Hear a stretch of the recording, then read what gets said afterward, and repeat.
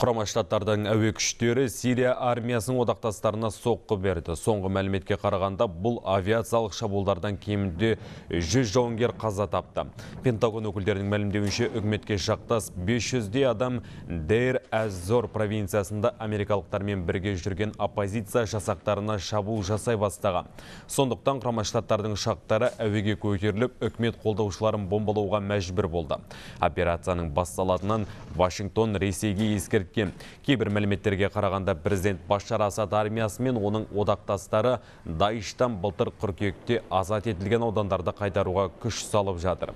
Ол территорияларда 2014-2017 жылдары Даишқа миллиондаған доллар пайда әкелген мұнай кеніштері де бар.